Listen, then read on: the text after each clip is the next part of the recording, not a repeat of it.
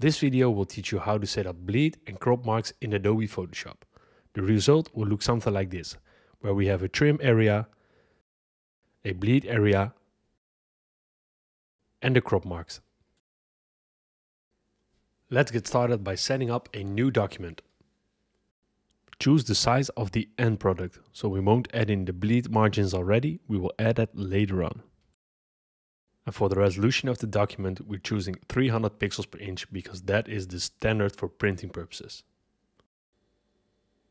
Now in this new document, we're going to create a new layer.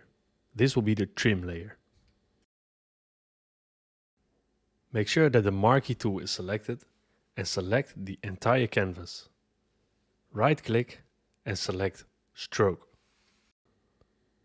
The location of the stroke must be on the inside of the selection. The color doesn't matter, we're going to pick a green one to visualize the trim. The width can be 1 pixel. So this will be the size of the actual product. So now we're going to add the bleed margins. We're doing so by going to image and select canvas size. We're going to select relative, which let us fill in how many margin we want to add. The industry standard bleed margin is 3 mm or an eighth of an inch. We need margins on both sides of the artboard, so we're doubling that. When you're working with inches, you want to fill in a quarter of an inch, one eighth of an inch on both sides. So now that we have added the bleed margin, we're going to select the marquee tool again and select the entire canvas size. And then we're going to create a new layer, which we will name the bleed layer. In this layer, we will visualize the bleed margin. So select stroke again. And again, the location must be on the inside and the color doesn't matter. We're going with a red color to visualize the bleed area. The width of the stroke is set to 1 pixel. Now select the entire canvas again and this time fill it with any color. We're using this layer as a temporary mask to create a white area past the bleed margins to create a clean output when exporting it later. So fill it with any color or just choose 50% gray and click on OK. Now we're going to create a margin area for the crop marks. So go back to image and select canvas size. This time we're adding around 12 millimeters to the canvas size or an half of an inch.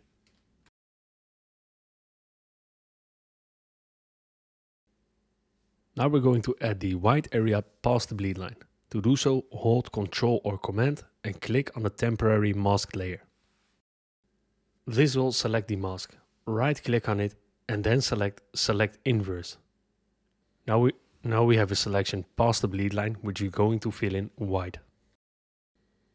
First create a new layer for the white border. Then right click on the selection. Select Fill and then select White. Now we can delete the temporary masked layer. Now let's go ahead and lock these three layers so they won't be edited by accident. The only thing that is still missing are the crop marks. So let's create a new layer for the crop marks.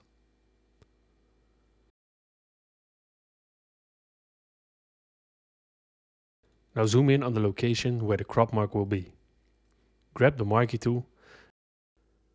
Now make a selection from the far corner of the canvas and drag all the way to the center of the trim area. Now go ahead and right click and select stroke.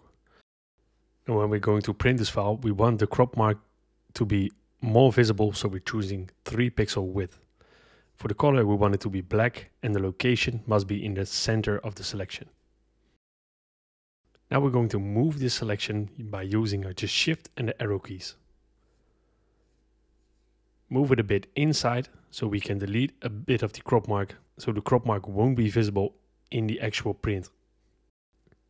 Best thing to do is to keep the selection just outside of the bleed area so we are sure that the crop mark will not be visible when printing.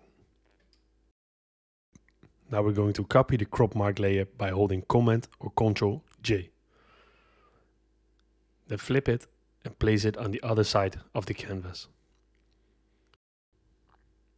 Now you can merge these two layers together, make a copy of it again, and then flip and drag the selection to the bottom side of the canvas. And now merge these layers again so we remain with one layer that contains the crop marks. Now one last step for the crop marks and that is to remove the outer lines.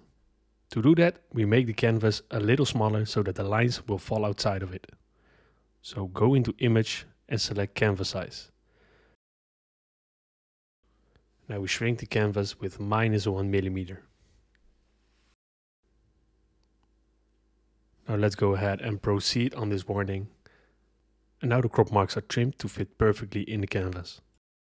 So now you can go to the background layer or the layer underneath the trim, the bleed and the crop marks and you can start editing your design knowing that it will be exported with a industry standard bleed area and crop marks. Make sure that when exporting you deselect the visibility of the areas so they won't be on the actual print. Now simply export the image and the bleed area and crop marks will be there, all according to the industry standards. Thank you guys for following along with me Please consider to subscribe if it helped you.